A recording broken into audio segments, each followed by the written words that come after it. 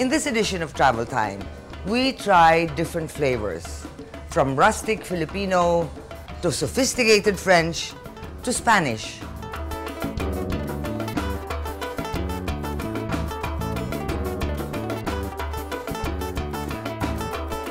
I'm Susan Calo Medina.